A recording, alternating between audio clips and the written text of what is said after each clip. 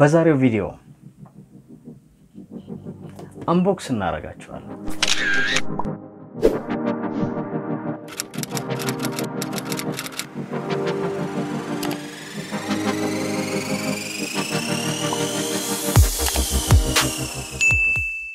ሰላም እንዴት ናቸው? ከረዥም ጊዜ ቆይታ በኋላ በሌላ አዲስ ቪዲዮ መጥቻለሁ። አሻንጉሊቶቼ ገብተዋል። unbox እናደርጋቸዋለን። እነዚህን external hard disk ኦች የግሌ ለማድረግ ለረዥም ጊዜ ጠብቄያለው ብዙ አገልግሎት አላቸው።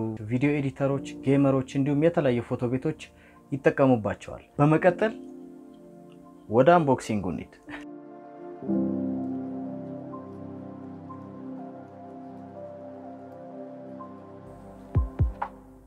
እንደምታዩት hard disk ኡ ይሄንን ይመስላል ሳይከፈት።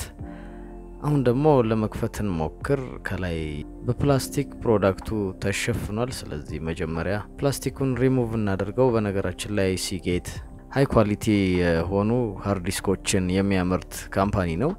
እንግዲህ የተለያዩ ቦታዎች ላይ check ሳደርግ ካሉት external hard disk ኦች ብዙ ተጠቃሚ ያለው ብዙ ጊዜ ፊልም ቤቶች፣ ቪዲዮ editor ኦች እንዲሁም ፎቶ ቤቶች ውስጥ የሚገኝ ነው። ስለዚህ ለዛ ነው Seagate ን የመረጥኩት። እንደምታዩት ለመላጥ የማደርገው ጥረት በጣም አልተሳካም።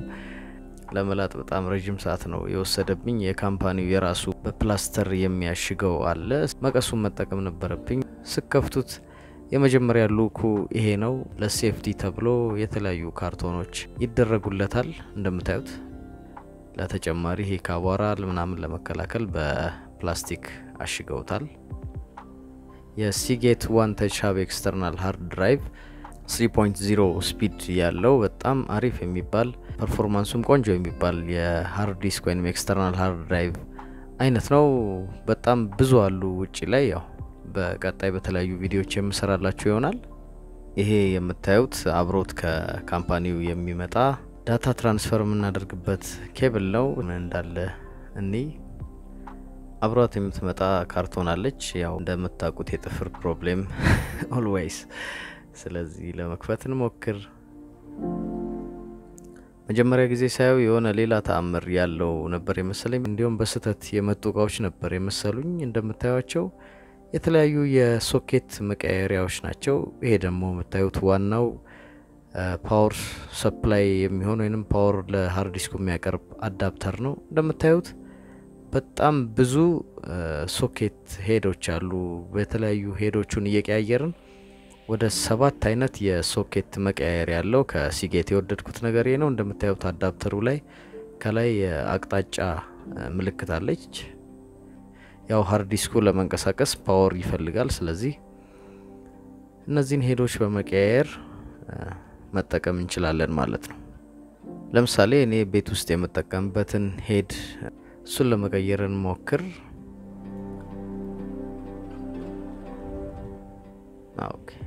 ስለዚህ በዚህ መልኩ የተለያዩ head ኦችን እየቀያየርን በጣም ቀላል ነው። በነገራችን ላይ የራሱ መምሪያ ስላለው ያያችሁ just እየቀያየራችሁ ቤት ውስጥ ከምትጠቀሙት ሶኬቶች ጋር አንድ ላይ በማድረግ መጠቀም ትችላላችሁ። ሁለት ባለ ሶስትና አራት ባለ ሁለት head ኦች አሉት ማለት ነው። ስለዚህ በዚህ መልኩ Seagate ን ከፍተን አይተነዋል። አንደኛውን ከፍቼ እስከማየው ድረስ ጓጉቻለሁ። እነዚህ material ኦች online market ም ላይ መርካቶ ብትሄዱ ታገኟቸዋላችሁ። እንዲሁም የተለያዩ ኮምፒውተር አስመጪዎች እንዲያስመጡላችሁ ማድረግ ትችላላችሁ። እኔ ለስራዬ እንዲመቸኝ eight tera ነበረ የፈለግኩት። ስለዚህ eight tera ውን ገዝቻለሁኝ። እናንተም ለስራችሁ እንዲሁም እንደምትሰሩበት ስራና እንደምትጠቀሙበት ጉዳይ terabyte ኡን ከፍ እያደረጋችሁ መጠቀም ትችላላችሁ። ከዚህ በኋላ ቪዲዮ ሳለቅ ለረዥም ጊዜ አልቆይም። ቶሎ ቶሎ ቪዲዮችን እለቃለሁ። ከእናንተ የሚጠበቀው like፣ subscribe ማድረግ ነው። እንዲሁም የዚህን ቻናል ቪዲዮዎች ቢያዩ ይጠቀማሉ የምትሏቸው ሰዎች ካሉ ሼር ማድረግ ትችላላችሁ።